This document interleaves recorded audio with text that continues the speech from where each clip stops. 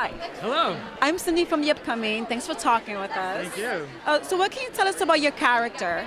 I play Guillaume Apollinaire, a French poet. Uh, he was best friends with Picasso, and uh, they met each other early on, and they really challenged each other to bring out their best and to not be conventional and really revolutionize their their artistic endeavors in that industry, especially painting and poetry and everything. And Apollinaire is kind of credited for um, pushing Picasso into what he called cubism, um, also surrealism and orphism, and all these different movements he was able to identify and recognize and give a name to. How, how did you prepare for this role and embody this character? Uh, Wikipedia helps a lot, getting those facts.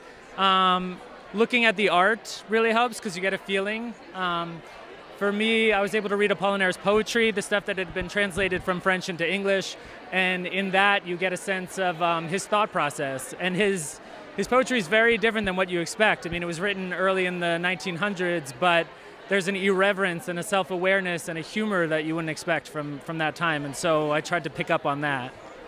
What did you, how, or how did this film inspire you, like in your personal life, or what's your takeaway from this project? Uh, I think just learning to be brave and take risks. I mean, having that be something that's affirmed and that we're reminded of all the time is so important. To not be afraid of what other people think and really follow kind of that intuitive truth. Yeah. Thank you so much. Thank you.